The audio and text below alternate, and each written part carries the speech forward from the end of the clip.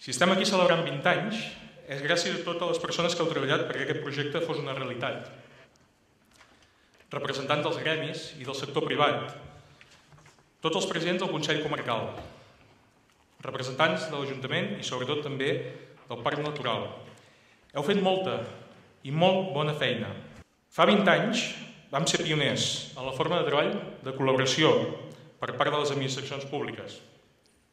També vam ser pioners en el treball que el Parc Natural va fer per tal d'acreditar-se amb la Carta Europea de Turisme Sostenible i per incorporar en el turisme a la comarca una metodologia, una forma de treball.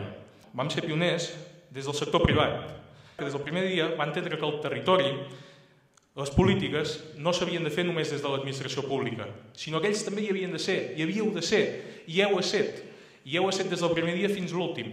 I no només hi heu estat d'una manera presencial, sinó que hi heu estat col·laborant i també, per què no dir-ho, econòmicament sostenint tot aquest projecte. Vam ser pioners al nostre dia i a dia d'avui som referents en molts territoris. A mi una de les feines que em toca com a president de turisme de tant en tant és donar la benvinguda a territoris, a diferents territoris que ens venen a conèixer, que venen a, a veure com nosaltres treballem. També a universitats que expliquen la nostra experiència com a èxit de la gestió turística de casa nostra. Els resultats han anat apareguent, com Itinerània, un projecte d'una xarxa de senders molt potent que tenim a casa nostra. Però també tenim altres projectes. Tenim el Garrotxa Cultur, un projecte que fa molt poc hem llançat i que jo crec que d'aquí uns anys serà referent de la feina ben feta d'aquests moments. O com nous serveis, el d'innovació i producte, que tenen com a objectiu enfocar i donar una empenta a les empreses perquè els sigui més fàcil la seva internacionalització a través de productes com la gastronomia o de natura. Molts d'aquests projectes no poden ser possibles sense la col·laboració de la Direcció General o de la Diputació. Hem rebut dos plans de foment i un FEDER que ens han permès que en moments d'extrema dificultat econòmica poguéssim dir que a dia d'avui hem fet uns projectes, una inversió en infraestructura turística per més d'un milió 1.300.000 euros. Ja som un 7% del PIB d'aquesta comarca, una comarca molt industrial, i que ser un 7% del PIB en aquesta comarca no és senzill. Però això també ho hem fet, no guanyant volum per guanyar volum i, i anar siguent cada dia més grans, sinó sense perdre mai aquell objectiu que havien de tenir de respectar el nostre patrimoni, el nostre entorn. M'agradaria felicitar tots els que esteu aquí. Molts dels que esteu aquí formeu part de Turisme Garrotxa i avui tots vosaltres feu 20 anys no són uns tècnics, no són una junta, no són els membres d'una assemblea els que fan 20 anys, sinó que sou tots els que formeu part de Turisme Garrotxa que avui feu 20 anys. Coincidint amb aquesta diada tan especial, des de Turisme Garrotxa s'ha creat el Premi Turisme Garrotxa. Un reconeixement que neix amb l'objectiu de posar en valor la tasca d'una persona o entitat que hagi fet la millor contribució al desenvolupament del turisme a la Garrotxa, tot apostant pels valors de l'associació, sostenibilitat, singularitat, proximitat, cooperació, coneixement, compromís i responsabilitat. I enguany, la Junta de Turisme Garrotxa ha acordat concedir el primer Premi Turisme Garrotxa per la seva trajectòria vital en pro del desenvolupament del sector turístic de la Garrotxa, compatibilitzant la conservació de la natura i el desenvolupament econòmic a Josep Maria Prats,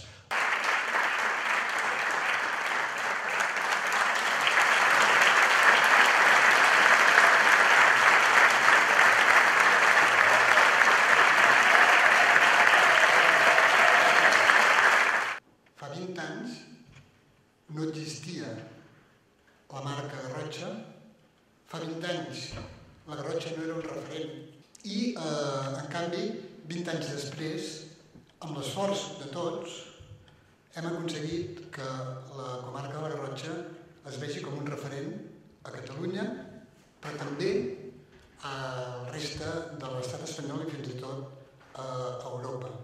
Vam ser el primer espai que es va acreditar en la Carta Europea de Turisme Sostenible de l'estat espanyol i un, i un dels set primers ja ho sabeu, a Europa, i en aquests anys, en aquests 20 anys que hem anat construint tot això, evidentment, eh, jo he tingut la immensa sort i l'immens honor de ser un dels protagonistes, un, però, evidentment, un no fa res sol. Ho hem fet entre tots, evidentment. I això no ha estat un sol, ha estat una obra coral una polifonia que si potser no ha arribat a l'absoluta perfecció, perquè això en aquesta terra és molt difícil, sí que ha brillat per la seva excel·lència.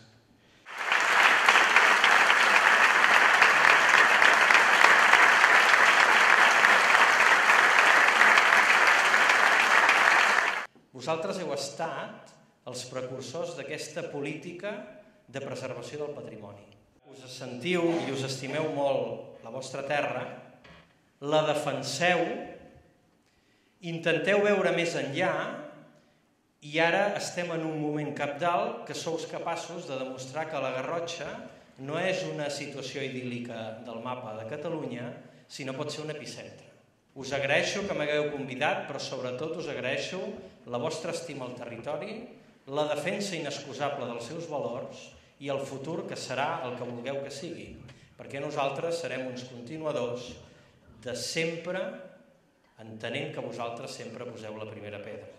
Quan potser fa 20 anys poca gent parlava de sostenibilitat del, del turisme o parlava de, de diferents d'aquestes paraules, vosaltres ja ho teníeu, ja ho teníeu integrat amb tots els empresaris, tots els hotelers, tota la gent relacionada amb el sector turístic de la comarca, veu començar a treballar i amb dificultats, això sí, però ho veu tirar endavant.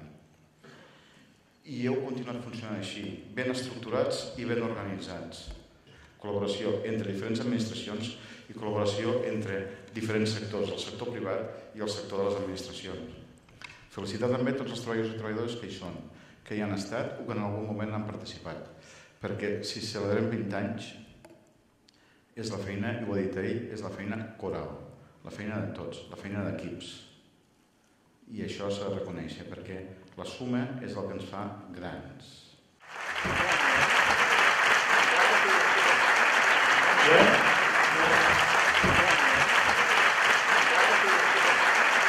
Ara Anem a reconèixer la gerent durant 20 anys de turisme Garrotxa Torina Serra, per aquí també tenim un petit detall.